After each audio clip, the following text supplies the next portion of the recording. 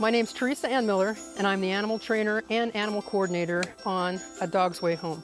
So, in searching for Bella, it was really important to have a dog adopted from an animal shelter to make a difference in a dog's life. Shelby was an unwanted pet without a home. She was thin, she didn't have a great life. If the shelter hadn't found her, it wouldn't have been a great outcome.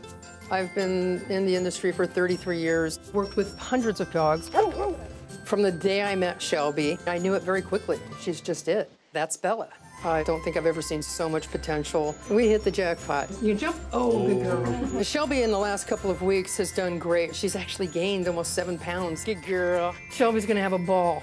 She'll be the worst behaved dog. She'll dig in my garden because I'll teach her. Dig it, dig it, dig it. Good girl. She'll jump up on people because I'll teach her. Oh, good girl. Various commands, sit down, stay, you know, we'll have them put their head down, put their head up.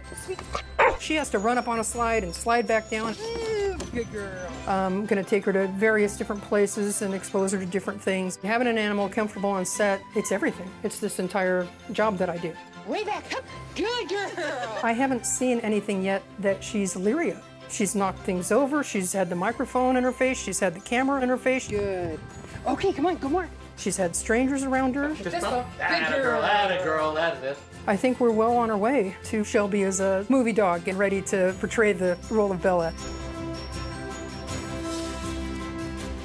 Hey, get up, get up there.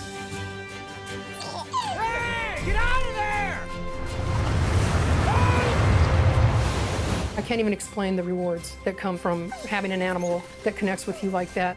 That dog saved his life. She's going to go on to be a therapy dog and visit children in the hospital and bring some hope and some happiness to kids. She's found her way home.